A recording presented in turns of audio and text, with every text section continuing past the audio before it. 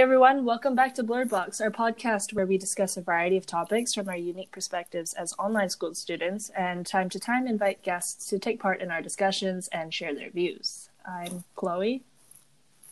Hi, I'm Haven. I am Sophie.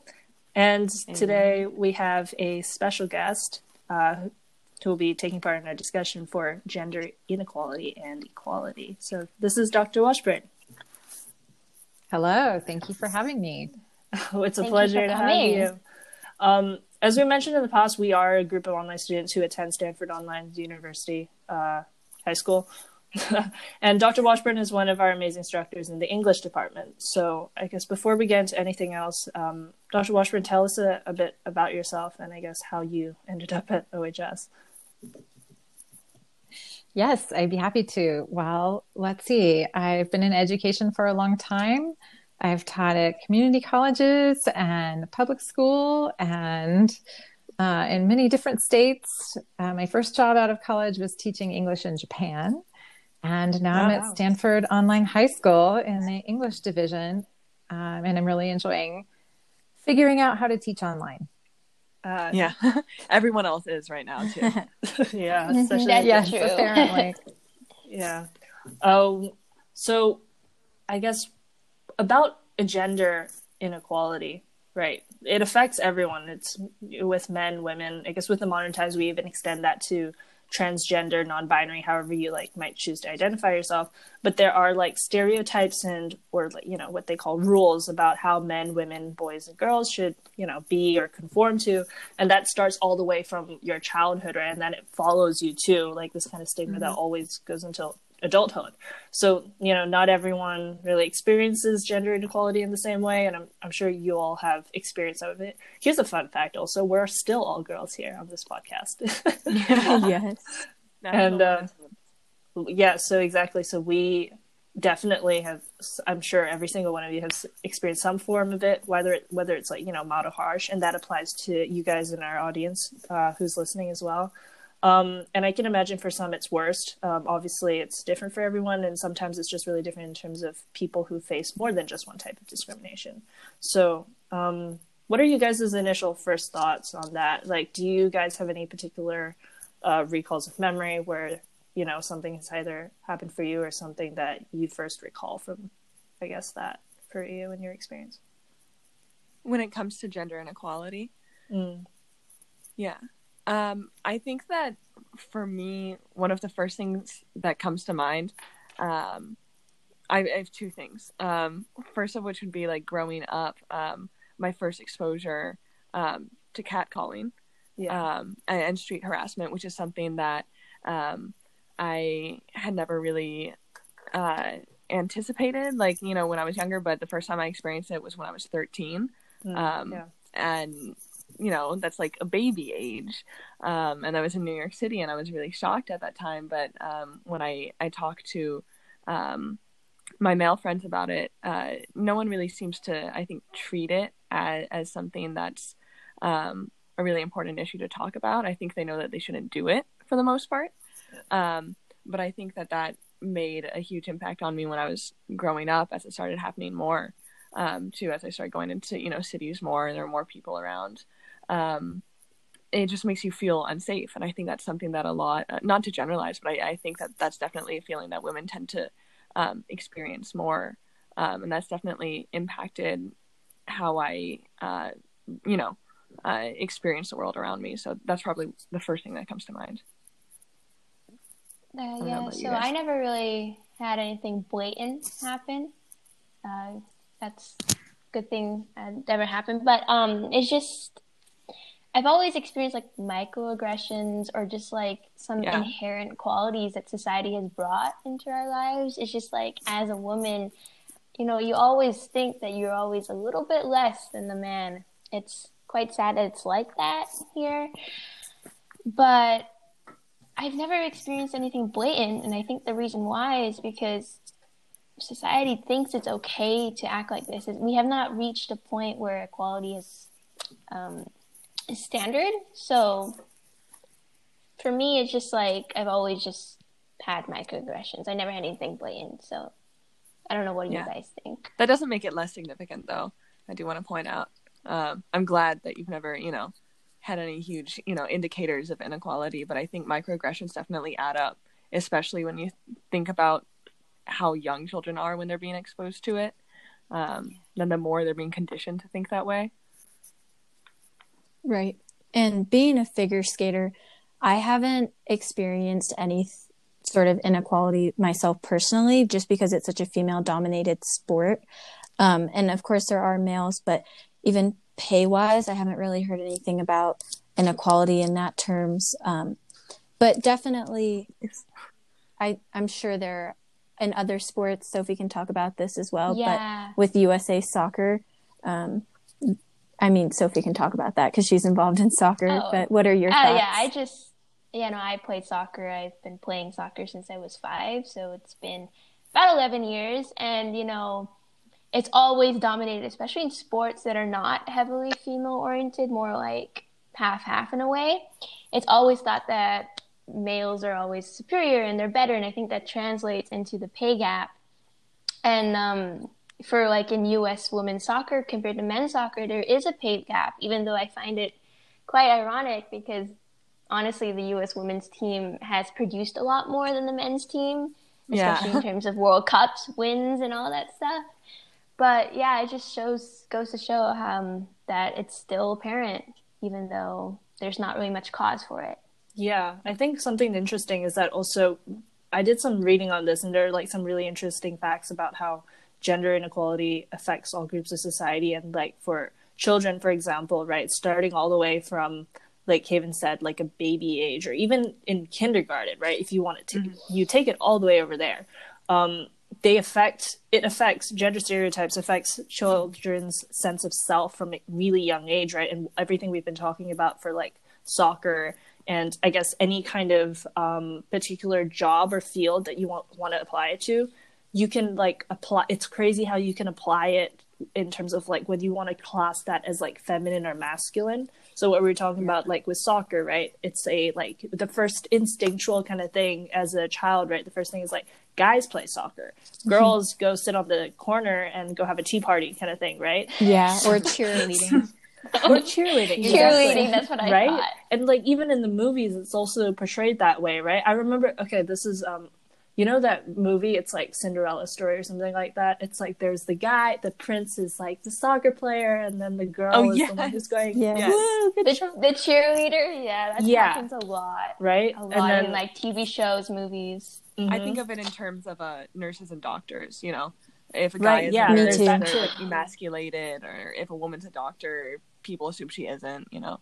Yeah, so for like teaching, for example, as well, right? Um, when we grow up, also, I think there, there, I don't know what what it was like for you guys, but for, I think in general, like there's also like a feminine kind of thing that's associated with teaching.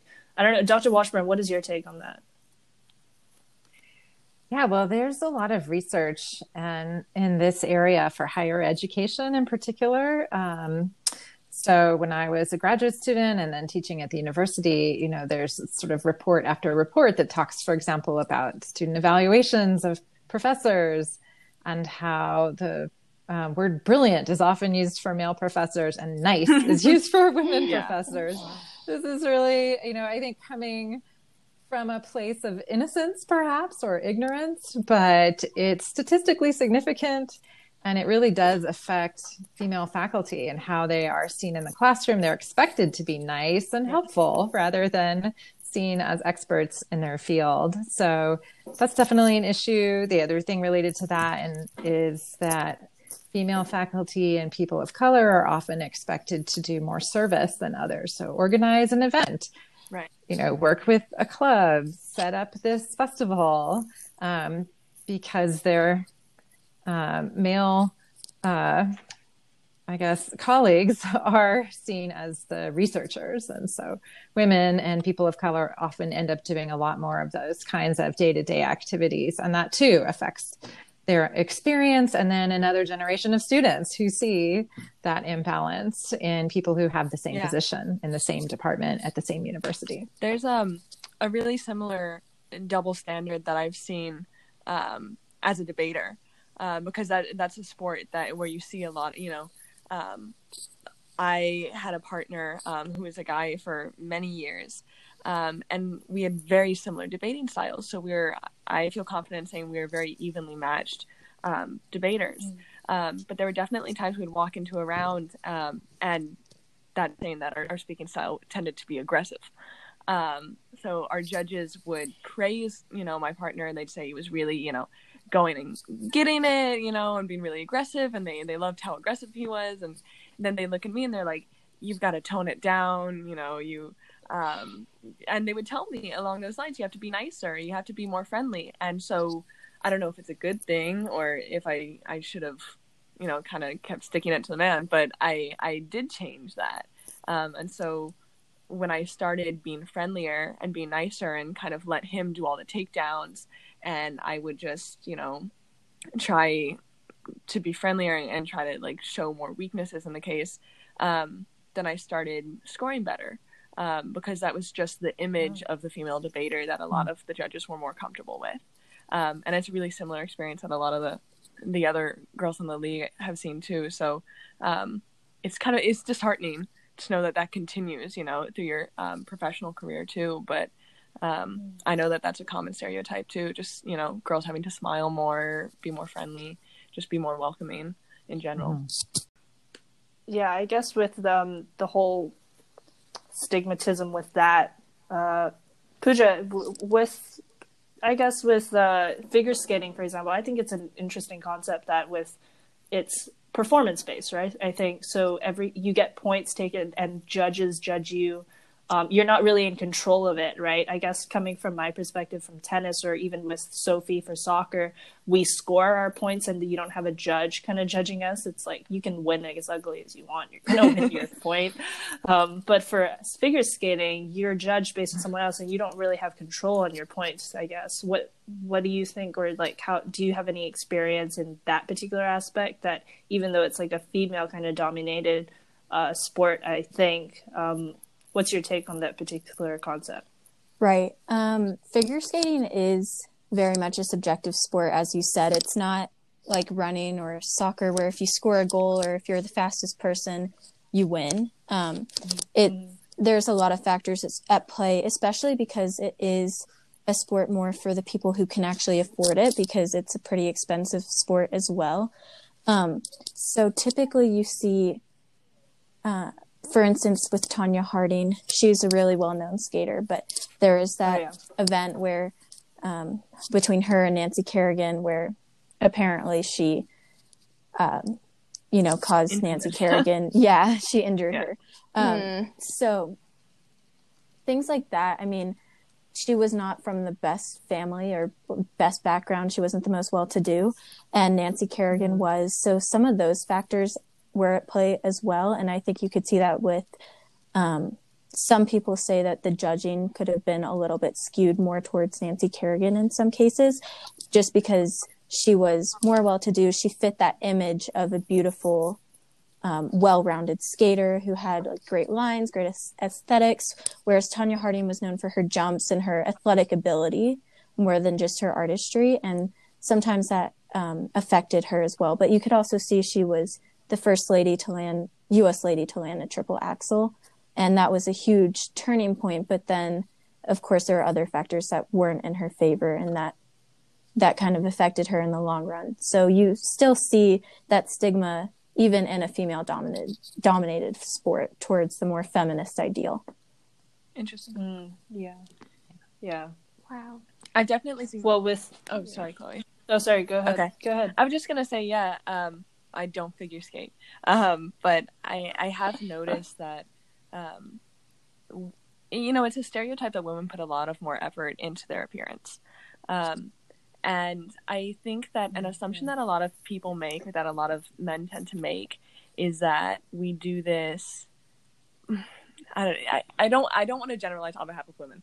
Um, but for me, if I dress up or if I look better, um, I either do that for myself because I want to look good, or I do that mm-hmm. um, because I feel I need to make you know a, a good impression on whoever I'm seeing, right. um, or that you know could be in terms of the debate tournament. Like for instance, I go and I'm wearing like a pencil skirt and a nice shirt and a suit jacket, and my partner again shows up in jeans and you know a flannel, and we get the same. Yeah, we get the same Really? scores um, because he's That's not crazy. expected to look um, well presented or to look um, good.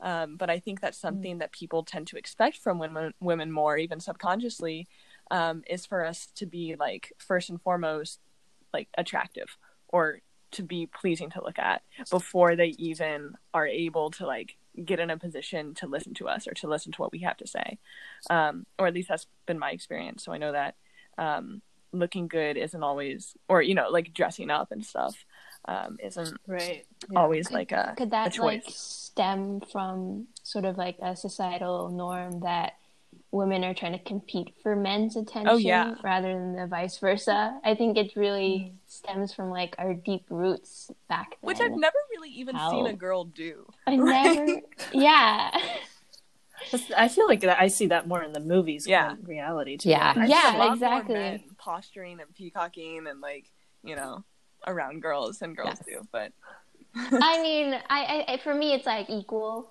I think in that case, especially, I feel like I noticed it less because I was in a homeschool environment, community Right. Yeah. for most of my life. But like in soccer, I've noticed it a lot more than usual.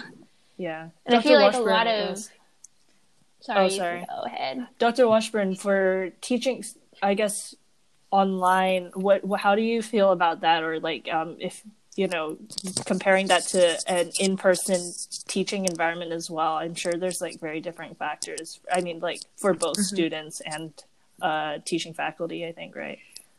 Yeah, I think definitely. In some ways, I think the digital environment could actually help women. That you don't sort of have the full kind of embodied presence of you walking around Right. the classroom. Um, but it's it's hard to say. I mean, I will say I know that I've over the course of my lifetime, I've been told enough times that I have a kind of uh, natural scowl. Sometimes I think that's my my thinking voice or my serious face. Um, but I don't know any male colleagues who've ever been told to smile at work. And I have been more than once, not at OHS, but at other institutions by like students, by other faculty, by, you know, random people I've never met. And that even that small Wow. thing is just a reminder like, well, I was thinking about something very seriously. So I don't actually need to smile when I'm doing Yeah. that. Um, yeah. So those How kinds of you- sort of interactions stand out. how have you started reacting to those like do you just smile or do you just say like okay thanks or i don't know how to respond to those Yeah, I think ignoring it if you can can be fine as long as you feel safe where you are. Um, it is a reality that sometimes an appeasing smile, if you're worried about your safety, is something to take seriously. Um, but I also think if it's someone I um, could talk to, I will say, "Look at that person over there. Why don't you go tell him to smile?" or, or I will, Yeah. there's an artist in, out of New York who had a campaign about a sort of version of catcalling, but about telling women to smile in public. And so she would do the sort of graffiti of unsmiling women around town and saying, "Don't tell me to smile." So I love that too. Just to, I, we should all have that in a card we can hand out or something to Yeah. flash on our phone. Yeah. I'm thinking, don't tell me to idea. smile. yeah Yeah. No, yeah, that's in- really interesting. I think uh, also associated with that is also like I guess when we're not obviously not there yet. We're still in high school, but uh, when you get to that point, also it kind of affects salary difference, right? I think Yes. at least from statistics show. I, I think you'd be able to elaborate more on that than I would. yes i i think it's really quite shocking how the statistics have not moved much. And so women tend to negotiate less for an opening salary bid and so accept a lower bid than a male counterpart. That sets them behind not just for that year but five years down the road and 10 years down the road and 20 years down the road. Um, Yeah. Another example from higher education is that, for example, in some of the sciences, women have often been underrepresented among faculty. Um, actually, now it's biology has more women than men. And so the Wow. thought is, oh, now women are doing great. They're more than 50% of biology professors. But the strange reality is that now nationally in the United States, salaries for biology professors have gone down. Oh, Wow. Oh. Yeah. It's really Wow. not a case of like once there are enough women, then we're all there. It's actually a kind of strange Yeah. evaluation of a discipline that is more women than men. Mhm. No, yeah. Yeah. You know what's really interesting to me is that actually when you point that out, then when you put it that way, the the, the I think of it like at this um what do you call this? The the the scales. Thank you. Obviously my English doesn't work. Um with the scales, right? When it's gone to like 70% of women in biology, then it goes to the men as if like uh there's the stigmatism um it'll like it looks a bit worse for like men um, in that like general view, right? In the way that we're talking about that this there's that's the stereotype beca- becomes it's lesser of a man to go into biology then because it's a women dominated field, if you know what I mean. Right. So if before it was great, you know, for a man to be a biology Mhm. teacher, as soon Yeah. as it's women dominated, it's suddenly emasculating Yeah. to be part of that field. Yeah. Right, Yeah. exactly. Yeah. I think And Yeah. that like happens in other forms, Yeah. like nurses or dancers or anything like that. yeah. Mhm. And I think that's one of the ways um, that it definitely affects um, men too, and you know, boys growing up too, uh, equally being told that there are a lot of fields that they can't go into. Um, I, I've also found that in even the places where the field tends to be women dominated. Um, so, for instance, Pooja, I also I ride horses, so that's also typically you know a female dominated sport. Um, Yeah. and there Mm. there's you know strong representation by women in the professional field, but you also see that um, a strong majority, not maybe not majority, but like a, a strong um, percentage of the professionals in that field are men. Um, and the same for chefs, you know, where obviously cooking is one of the most traditional, stereotypical female roles to fill. Mm. Um, Yeah. And so that's considered, you know, a feminine trait until you get to the highest levels of um, Right. being a professional chef, you know, Gordon Ramsay. And um, that's where you start seeing more men at the top of their field. And that isn't particularly because they're better at everything that they try. Um, you know, Mm. but in the fields that they enter, then they're already given, you know, a leg up, even in fields where there are more women because they've just been raised in a way that makes them, like you were saying, Dr. Washburn, like more willing and more comfortable and more likely to get raises, you know, and to ask for them in the first place, um, and being given those opportunities. So um, it's striking to me that even in, you know, those fe- female fields, um, men still kind of rise to the top because they're still provided unequal um, opportunities to get there. Yeah. For the most part. Yeah. They also, Yeah. I'm sure they also Yeah. deserve to be there, you know, but um, so do the women. Yes. Um, one of the That just makes me things think about- equal pay too.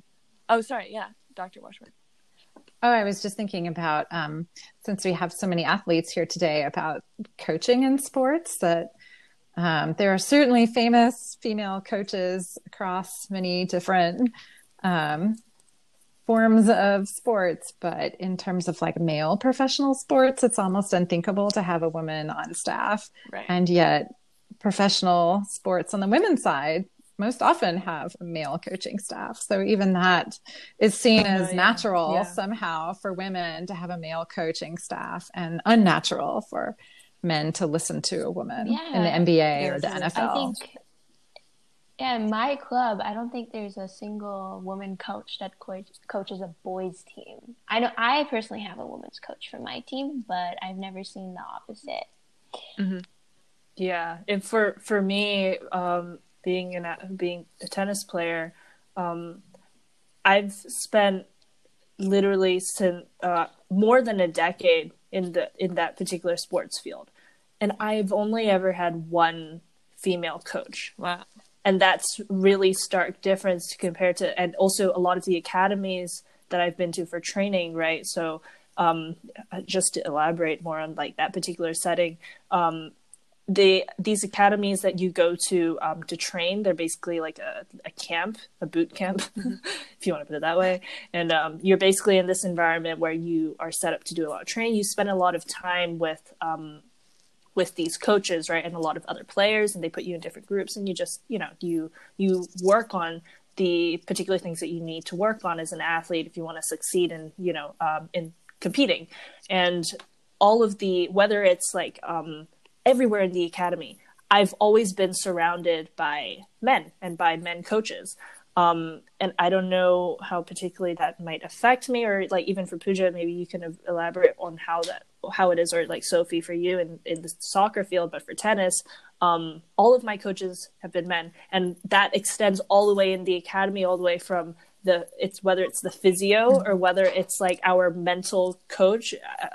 I don't know how to explain the mental coach, but it's like they help you map out um, very when you get to that level and um, strategizing for particularly how you want to play to win your your matches against certain people and you analyze a lot of stuff. Those are also men. It ranges all the way um, to our fitness coaches as well and the assistant coaches. And then whether it's even the people who are organizing everything for tournaments they're all men. They're you know everywhere on the, the academy and it's annoying not to see enough women there so i guess yeah so, sophie how how is it for you yeah I, I, it just kind of it's not actually about me but it really reminded me of a story i was reading about Mary Cain, who was mm. the fastest girl in the world until she joined Nike. Um, that kind of circulated a lot. And it showed how she was like at the top of her career. She was 16. She was considered the fastest girl in the world, had straight A's and everything. And then she joined Nike. And then everything deteriorated because um, her male coaches wanted her to get thinner because that's what they thought right. will get her faster. But that in turn made her worse and made her slower and made her like develop an eating disorder. And it's showing that it's sometimes it should not be like that because like the male coach thought um, Mary Cain should be thinner, but in reality she shouldn't have because that's just not how her body's built. Yeah. I thought that was just an interesting thing to bring up. Yeah, absolutely. I think another reason for all this might also be that um, I think people still have um, a very outdated notion of what you know a woman's end goal is that being being a mother and, and raising a family and being a wife mm. um, so i oh, yeah. think that uh, a lot of companies um, make the decision um, that women don't need to progress as far in their career as men do because there's like an earlier end point for them or stopping point um, and i think that's also one of the reasons for you know um, the pay gap is is the raises and, and, everything like that simply not getting equal pay for equal work but it's also that um, employers want to invest in men more because they expect women to run off and get pregnant and start a family and um, and, and oh, not yeah, be professional yeah, yeah. anymore sure.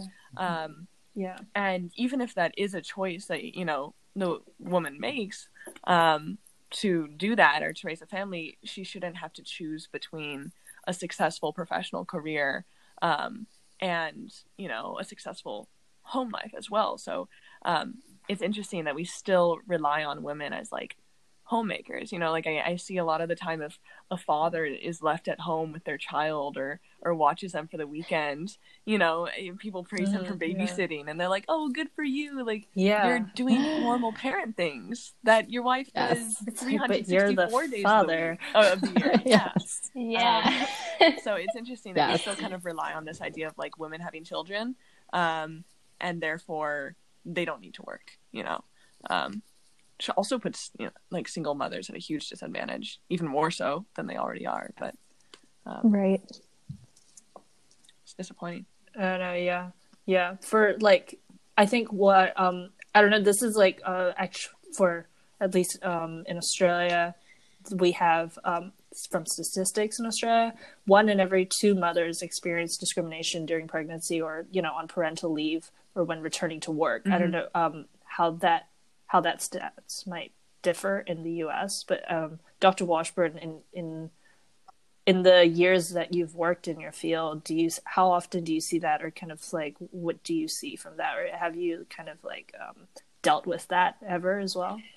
Yeah, I think it's a common issue for a lot of women, especially if they want to be pregnant and have children in their 30s or later or earlier. Um, that the mm. the weight of that um, childcare often falls on their shoulders, even if they have a partner who, at the outset, seems to be someone who believes in an egalitarian partnership. Uh, when it gets down to it, they're the ones who often do a lot more, and it can be a real strain if you're also working to do that. Um, mm-hmm. I think if parental leave is for both parents, it helps women if men take parental leave too to just sort of reconfigure what it means to have a newborn at home or a small child or you know when um, a, a kid is sick from kindergarten that you don't always have the mother who's working come in that maybe you call the father too and that person has Yeah. to take a half day so those are things that are hard to um, legislate, but I think they have a lot to do with the dynamics of relationships and um, things you can kind of see around the corner, but then a lot of things that in the moment you might not have expected to find yourself in. Yeah. So I've definitely seen that. I think that starts for sure. really early too. That uh, you know idea of the the girl is like very nurturing and kind, you know, and that carries over into you know teenage and then adult relationships um, where you're supposed think- to take care of you know. Yeah, I No, see yeah, that. I think sure. I think it, you see that more because like it's still ingrained in our society. So you see your mom doing all the work, and then your dad is going out and like getting money or like being the breadwinner, quote unquote. But Mhm. um, yeah, so just really instilled at a young age. So just brings it up in your adult life, and that's how you think life is. Yeah, I mean, I mean, Yeah, I, yeah, I'm thinking sure. of like really early on in like first or second grade, you know, when the teachers go, "Uh, "Can I get some like big, strong boys to help me move these cherries over?" um, and then back then, like something was bugging me about it. I couldn't tell what, but something was bugging me. I was like, I could move those if I wanted to, but already, you know, it's putting um, the boys in the position of like, okay, we're strong, we're uh, we're helping out, we're being really, you know, um, manual and physical about this. Um, and Yeah, Uh, you know that isn't that same responsibility wasn't really given to the girls um or if it was Yeah. You want to know, like, like, yeah. Sorry. Do you want to know, like, a funny story? Is that um also um traveling a lot. Um, I don't know, Pooja, you might relate to this because, like, um, when you travel often, you carry a lot of big luggages, a lot of big suitcases, and people look like um. Again, this hasn't been like told to my face, but I do travel with my mom, and naturally, um, I, we have a lot of big luggages and I, like i've been traveling since like 10 years old um, as a really young age and when you're traveling across the world you don't carry small luggages. They're big luggages. I've emphasized that enough. But it looks really weird for some reason how a 10 year old scrawny little girl with a whole bunch of tennis rackets is carrying like three big like 10 kilogram suitcases around and like pulling it off the rack right? And i'm like heaving it off and people are like why where's the man kind of like to pull it? Or like even and i get i'm there's like a really weird thing because i've been doing this for so long and i've just been in control of kind of like my own kind of stuff and um in traveling or whatever it might be or what if it's like heavy i'm like well i'm t- I, I completely disregard this kind of like masculinity of like the man has to carry the suitcase. This is a really small matter but like it gets me like really into it. Um we have um taxi drivers right who are men and they um they're like they they they're like oh i'll take it for you. But it looks really weird upon me when i'm like well i'm so used to this. I'm like i grab the luggage from him. I'm like throwing it into the into the boot of the truck on my own. And and he's like looking at me funny. I'm like 10 or 13 i'm like what? It's my luggage. It's my luggage. It's my suitcase. And then he's like okay well. I And then it's- that yeah, so anyway, well. so it's scaring like- taxi drivers Yes. I do the same No. thing. I have this like Yeah. compulsive need around guys to carry my own things. Yeah. And and pe- and Yeah. they think it's weird, you know, and it is weird. Like it's a strange thing to get stubborn over, you know, if we're like Yeah, carrying yeah. bags or, See- see or what I I'm mean. holding something that, you know, a lot of the times is very heavy for me and they would have an easier Mm-hmm. time carrying it. But I'm holding on to it because I'm like, no, like this is for equal rights. And they're like, Haven, you're being stupid. like you're just being dumb right now. But I, I would keep carrying Oh, yeah. I'm like, no, I need to do this. I yeah, I can definitely relate Uh, to that. Honestly, that I kind of, I'm kind of like, I'm proud of you for doing that because I've, you know, exploited my like femininity to like get people to carry things for me. you can 'cause, just like start a new I know campaign I, I've been playing like this soccer suitcase is for gender equality So I've been playing soccer my whole life. So I have really strong legs, but I've done nothing on my arms. So yeah, I'm a little weak when it comes to that. So I'm like, do I really want to carry this? No. Yeah. So then I like- just get other people that can. Yeah. It's so hard. I have like yeah to figure out Oh, when sorry. you want to like exploit gender inequality for stuff like that. Mm, like yeah. you can't pick and choose what. Um, No, yeah, yeah. For another like field in life, on a comedy aspect, um, when I go to the gym, okay, this might be a bit unrelated to, but this also is like a pet peeve for me. when you go to the gym, right? Um, in the general aspects of life, we're talking about like how women are meant to look, right? Can I just like note as well, um, the way that your physical traits kind of also come through in society. That's like another kind of like stereotype or kind of like a, a thing that like women um with with uh, bigger breasts or like um or a bigger behind or something is supposed to look be looked upon as like nicer or whatever. And like for men if you have bigger muscles right you have like bigger Right. biceps or whatever right that characterizes them. As like more masculine like you're the man well done for you good on you so when i go to the gym naturally i feel this very um it's not like aggression but like it's like why when men go to the gym right this is probably me just ranting they always like go they go straight to the dumbbells The arm. and they go straight Yeah. and they're like oh get, get my muscles and get my bicep i'm like why aren't you running go on the treadmill for once like never have all skip this leg muscle day. exactly Yeah. right it's like That's because what, they're that's so the only thing I do in the gym is just legs Right, and running. So like the That's first really thing they more go to is like they want to get the muscles, but like where are you? Yeah. Where what leg muscles are you going to it's carry all that muscle it's like with? strange Like- sexualization of different things for men and women. Um, So Right. that So it's like such a small thing that expands into like a lot of different Mm-hmm. areas, right? So yeah, just in that particular aspect, like they're walking around like the letter T when you belong on Sesame Street.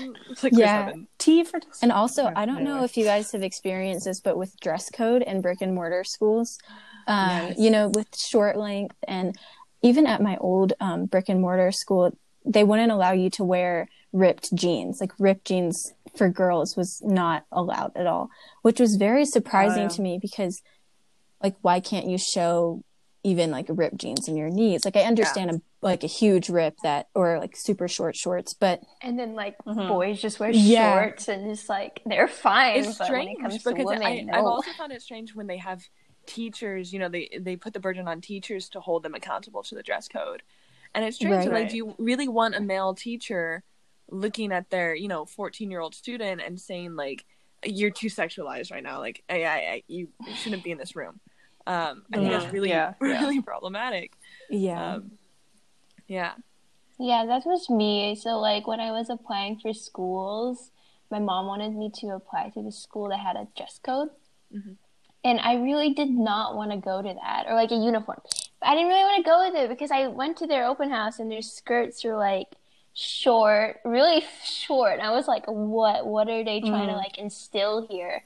And I get that you can wear leggings, you can do whatever you want, but I just feel like having that mentality where girls are supposed to be put in skirts, especially since there's a lot of like historical significance to Oh, yeah. women wearing dresses and women then turning into and wearing pants. Mhm. I just find like why are they trying to do that? And I was always wondering. So I never wanted to apply to those schools that had a uniform like that. Oh yeah, yeah. I don't know if that was only me.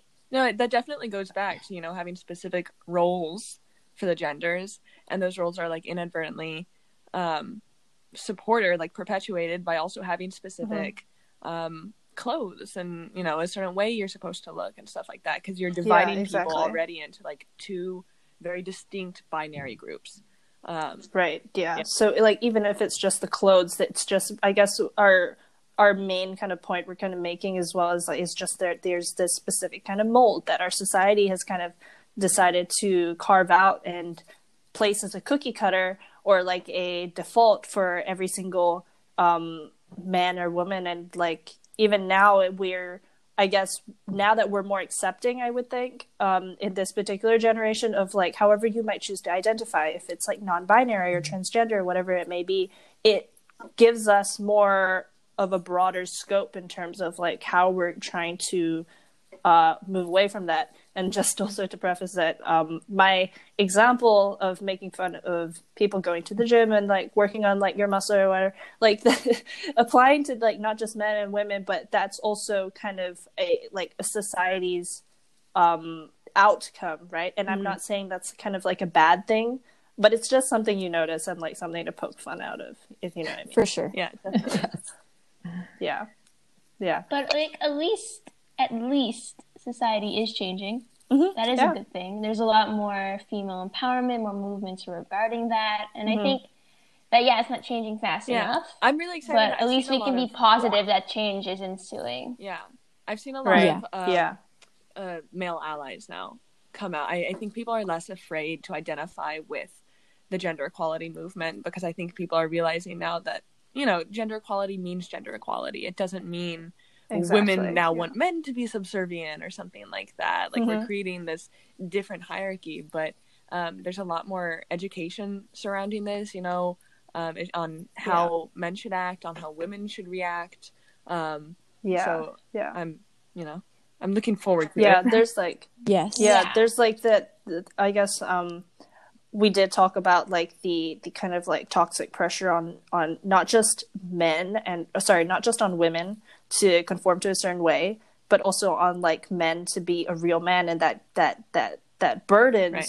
men who actually are, extend further than that um and that's something i guess we will we have that in mind for a future episode to um see how um other boys, I guess, and our classmates, or perhaps even uh, another instructor to. Uh, Yeah. That'll be interesting Yeah. to see how, Yeah, yeah, yeah, to see how, how perspective. they feel about it- that and see how Because they, you yeah, know, how they there's react. also society's standards on men. Exactly. So I just it'd be interesting to just see how they It kinda goes But both thank you, ways. Yeah. Dr. all. Washburn, Yeah. um, Yes. Yeah, thank for you. us. So I guess our Yeah. our full takeaway from this is that, that um, for for you guys listening, there is there the keep in mind the, the benefits of gender equality. Everything we've tou touched over um, kind of relates into you know um, it prevents violence against like women and girls. I think um, as an underlying kind of thing, it's good for the economy too in different ways.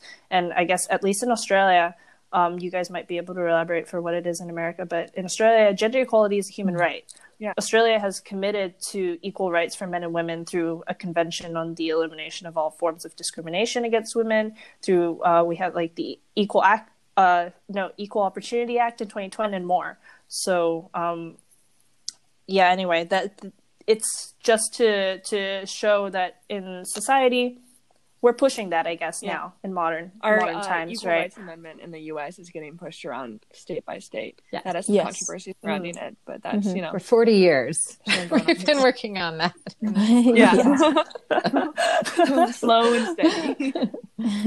It's a slow progress. Yeah, I mean, it's At there. least it's progress. give it like give it another 60 years. But it Yeah. shouldn't. Hopefully change is exponential. Yes. I. Hopefully Yeah, for it's sure. slow. Box. Yeah, exactly. So anyway, um, I guess thank you guys for your time. Well, keep in mind, suitcase for equal gender equality. Yeah. Got it? Quality. Yeah. Thank you so much, you. Dr. Thank you. Washburn, for coming Thanks for on having today. me. And Thank you so For sharing. much. yeah, so this was our. Uh, if you enjoyed our conversation today, be be here for next week for another uh, another discussion, perhaps with uh, on a male classmate coming in and more differing views. So this is the Blurred Box podcast. Uh, we had Sophie, Haven, Pooja, and Dr. Washburn today.